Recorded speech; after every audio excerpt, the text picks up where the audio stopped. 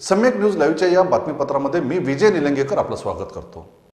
पाहूयात सम्यक घडामोडी. Phoenix multispeciality hospital and critical care centre Shivajinagar Nanded.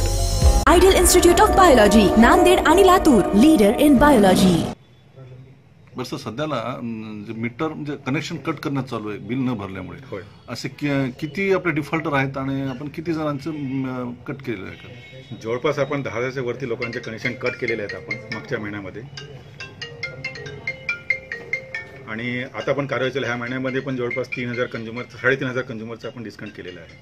तर एकंदरीत वीज बिल वितरण कंपनी किती रुपयाची थक थकबाकी आहे पूर्ण तुमच्या परिमंडळामध्ये?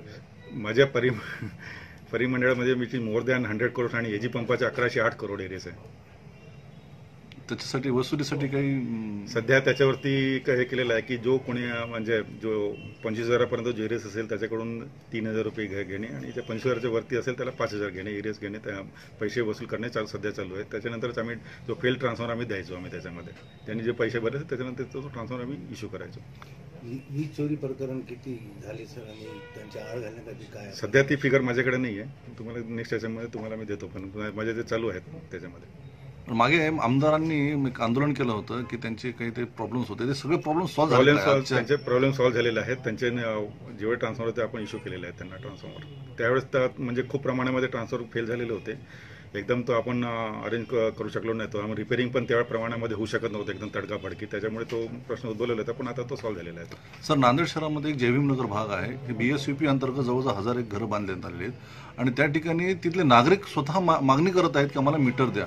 परंतु तिथली परिस्थिती बेकार आहे मीटर मिळत नाहीत लोक त्रस्त आहेत. त्याच्यात पूर्णपणे आम्ही सर्वे केलेला आहे. इव्हन त्याच्यासाठी जो माहिती पाहिजे होती जी लोक घर सोडून घरकुल योजनेमध्ये ते घर सोडून गेलेली होती त्याचे पूर्ण आम्ही इन्फॉर्मेशन घेतलेलं आहे. त्याच्याप्रमाणे बिल बिलिंग डिस्प्यूट आहेत ते सॉल्व्ह करायला घेतलेलं आहे. त्याचप्रमाणे नवीन कनेक्शनसाठी पण आम्ही अप्लिकेशन दिलेलं आहे. त्या अप्लिकेशन आल्यानंतर आम्ही त्यांना ता- ताबडतोब कनेक्शन देणार आहोत. त्याच्यात काही डिफरन्स जे काय ते काय म्हणतो आम्ही राहत नाही इथं तर बिल आलेलं आहे. त्याचं काय कमी करणार हो? तेच जे म्हणजे जे पहिल्यांदा जे म्हणाले तर की आम्ही सोडून गेलेलो होतो तरी पण आम्हाला बिलं आलेली होती. ती बिलाच्या तेच पूर्ण आम्ही महानगरपालिकेमधून पूर्ण डाटा घेतलेला आहे तो. ते त्यावेळेस जे ती लोकं नव्हती. त्याप्रमाणे बिलावरती ते कारवाई करण्यात येत आहे. अच्छा. पाहत रहा सम्यक न्यूज लाईव्ह. बातमी पाहण्यासाठी यूट्यूबवर सबस्क्राईब करा.